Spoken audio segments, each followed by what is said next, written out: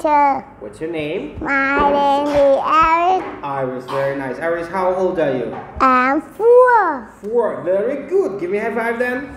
Yes, good. Are you ready for the test? Yeah. Okay, let's look at some animals. What animal is this?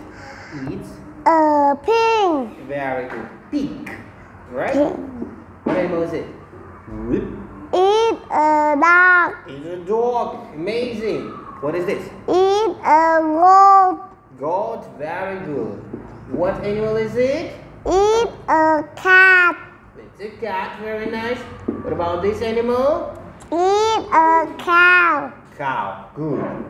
What animal is this? Eat a rooster. Rooster. Good job. What about this? Eat a rabbit. Rabbit. Nice. Very nice, Iris. What animal is this? Eat a dog. Dog. Good. What about this? Eat a horse. Horse.